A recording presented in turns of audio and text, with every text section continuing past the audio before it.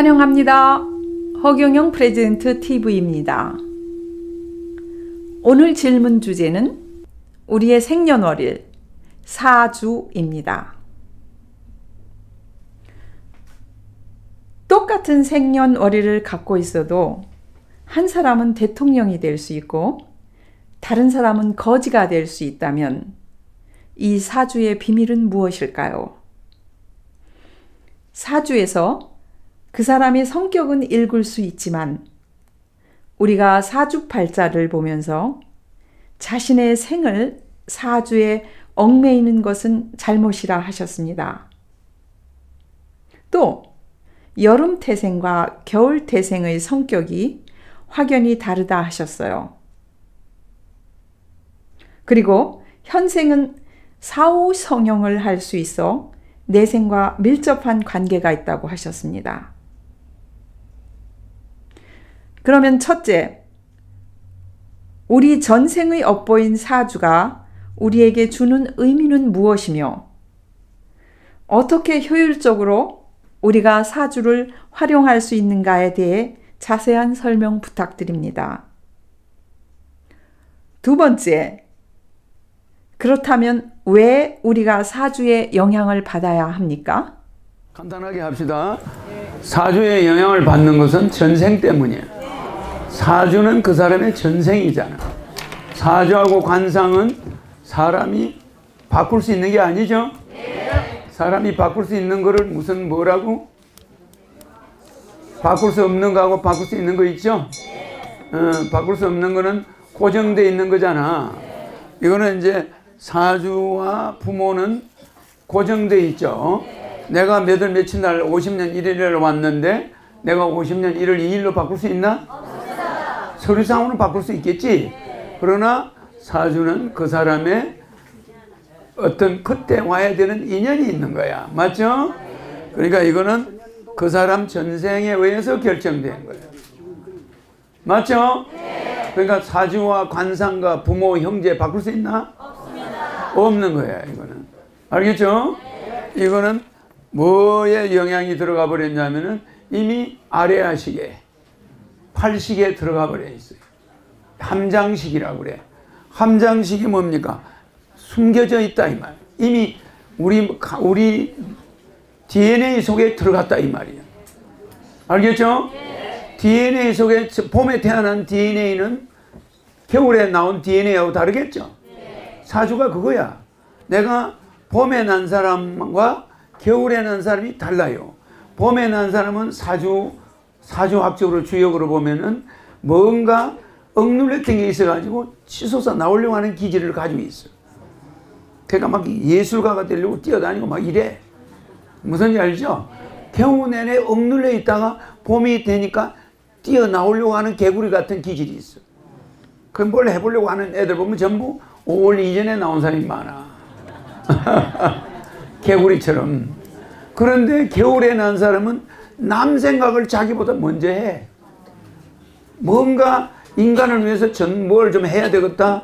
뭐 불쌍한 사람을 위해서 뭘 좀 해야 돼. 이건 전부 겨울에 난 사람이야. 슈바이처나 테레사 수녀나 뭐 하여튼 전 세계적으로 안, 저, 페스탈르지나 남을 위해서 희생한 사람은 전부 겨울생이야. 겨, 내가 겨울에 났죠? 이와 같이 인류를 위해서 뭔가 하겠다는 자들은 인간들도 겨울에 나와. 추운 계절을 겪어가지고 추운 계절에 나왔다는 건 뭡니까?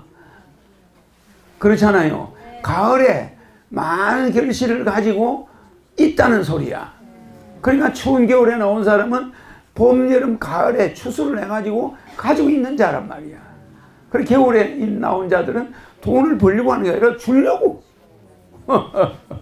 보정도 써주고 막 누가 달라면 줘버려. 막. 왜? 돈을 전생에 벌어놓은 게 많거든. 봄, 여름, 가을 추수를 한 이후에 겨울이 오잖아. 겨울에 난 자는 그냥 베푸는 일에 주로 종사하는 자들은 생일이 전부 겨울이야. 그래, 그렇죠? 그러면 이게 주역으로 보면 인간의 생년들을 보면 그 사람의 습성이 다 나와버려. 대부분 다 나온다, 이 말이야. 그래서 겨울에 태어난 여자를 만나면 바가지를 안 걸고. 그런데 봄에 태어난 여자 만났다? 보따리에서 이제 벌나? 알겠죠? 이제 이제 사주를 대충 알겠죠? 사주라는 것은 개개인이 지금 우리나라가 실제는 서울이 동경보다 30분이 늦잖아. 그런데 우리 사주는 일본 동경 기준으로 사주가 나와 있어요. 그러니까 우리 한반도 사람한테 맞아 안 맞아? 안 맞아요. 그러니까 여러분들의 생년월일 시는 30분이 늦게 잡혀 있는 거야. 아 일찍 잡혀 있단 말이야. 일찍 잡혀 있으니까 나의 한 살 차이가 나는 사람도 있어. 연말에 태어난 사람은. 월로 태어나는 사람은 월, 년, 년으로 태어나는 사람 띠가 달라져 버리는 거예요. 30분 때문에. 근데 동경 기준으로는 개띠인데, 아, 여기 오면 돼지띠가 돼버려. 마, 맞아, 맞아요. 30분이 달라져 버렸다. 저기에 12월 말일날 태어났다. 동경 시간으로. 아, 사실 따지면 이게 개띠가 아니야. 이제 이해가죠? 30분을 늦게 계산해 보니까 띠가 달라져, 띠가. 그리고 월도 달라지고 막 엉망이죠. 그러니까 12달에 계산해 보면 날짜가 틀린 사람이 대부분이야.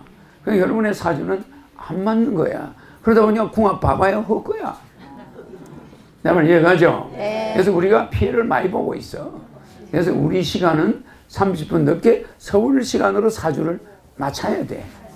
알겠죠? 인간의 사주는 왜 영향을 받냐면 내 전생의 업보야. 내 전생의 성격표야. 뭐 그래서 같은 사주라도 박근혜 사주가 다 감옥 가 있나? 다 달라요. 다만 성격이 비슷하다는 거야. 성격이 그때 난 사람은 이렇고 이래 그 사주를 가지고 뭐 잘 사니 못 사니 이건 잘못 생각이야. 알겠죠? 사주는 그 사람의 성품만 봐야지 그 사람의 팔자를 보면 되나 안 되나? 안 돼요. 아니 박 김영삼과 똑같은 사주가 있는데 한 사람 대통령이 되고 한 사람은 한 KBS가 그때 조사를 해가지고 텔레비에 나오는데 보니까 한 70%는 뭐 평범한 사람 그 중에서 한 30%는 거지 뭐 별 사람이 다 있어 미리 죽은 사람도 있어요 사주가 같은 날 같은 시인데 그래 안 그래요 그만큼 확률이 1%밖에 영향을 안 줘. 알겠죠? 네. 그런데 그 사주가 한약을 지을 때는 써먹어. 이게 불기운이 많은 사주인지, 이게 물기운이 많은 사주인데, 불기운이 많은 사주에다가 엄마 거기다 불을 많이, 인삼을 많이 넣었다. 그럼 애가 나중에 공부를 못하게 되고. 그럼 나중에 머리가 흰 백발이 나와. 나이 들면 한약을 불기운 많은 나한테 불기운 많은 걸 황부자를 집어넣었다.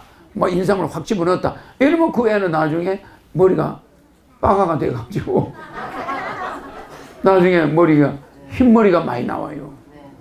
알겠지만 한약에 의해서 흰머리가 나올 수가 있는 거예요. 음, 그래서 그런 거는 사주를 보고 지어야 되는 거지. 천사 에너지 들어가라! 건강 에너지 들어가라!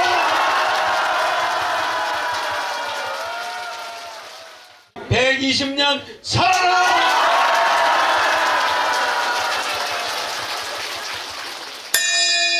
자, 허경영 눈에서 우주 에너지 받으세요. right now. 공자, 맹자, 알라, 알리. 아무도 해내지 못한 거 우리 힘으로 한번 해보는 거야. 어려운 얘기가 아니야. 좋은 세상 한번 만들어 보겠다. 내 말이 맞죠?